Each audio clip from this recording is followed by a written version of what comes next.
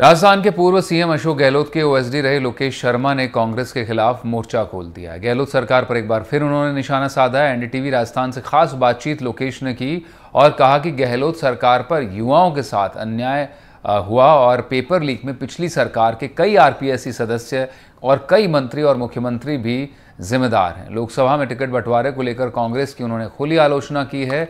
लोकेश ने कहा कि जो टिकट मांग रहे हैं, उनको नहीं दिया जा रहा और जो नहीं चाहते उन्हें ज़बरदस्ती कांग्रेस टिकट देकर मैदान में उतारी और कांग्रेस कुछ लोगों के पीछे सिमट कर रह गई। है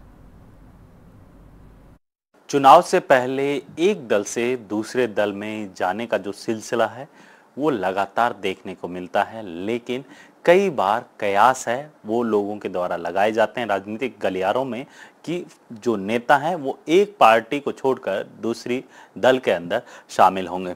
मेरे साथ मौजूद हैं लोकेश शर्मा जी, जो कि पूर्ववर्ती सरकार के अंदर मुख्यमंत्री के ओएसडी के तौर पे जो काम किया था, लेकिन अब लगातार वो सुर्खियों में इसलिए है क्योंकि जिस तरीके से उनके बयान आ रहे हैं, उन बयानों को लेकर वो लगातार सुर्खियों में बने हुए लोकेश जी, सबसे पहले तो आपका एनडीटीवी में स्वागत है। नमस्कार।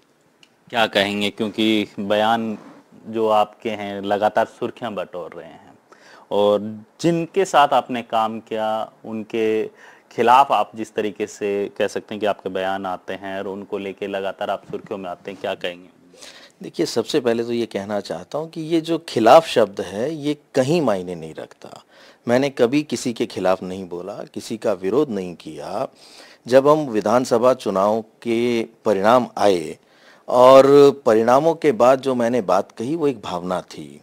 और वो जो कुछ भी मैंने लिखा था सोशल प्लेटफॉर्म्स पे सोशल मीडिया पे, उसमें मैंने कारण बताए थे कि क्या क्या परिस्थितियाँ रही, किस वजह से किन किन चीज़ों को नज़रअंदाज करने की वजह से जो पार्टी राजस्थान में सरकार बनाने की कगार पे थी। यानी एकमात्र राजस्थान ऐसा प्रदेश था जहाँ सरकार की वापसी होने की शत प्रतिशत संभावना थी।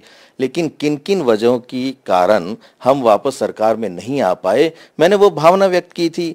लेकिन बहुत से लोग हैं जो ये सोचते हैं कि मैं अशोक गहलोत जी की खिलाफत कर रहा हूँ, उनके साथ मैंने काम किया है, और वो जो सच्चाई जिसको मैंने उस दिन बोला, वो पहले क्यों नहीं बोली? तो उसका बड़ा सीधा सा जवाब है कि जिस ज़िम्मेदारी से मैं बंधा हुआ था, उसकी अपनी मर्यादाएँ होती हैं, उसकी अपनी सीमाएँ होती हैं, और सीमाओं में रह के बात की जाती है।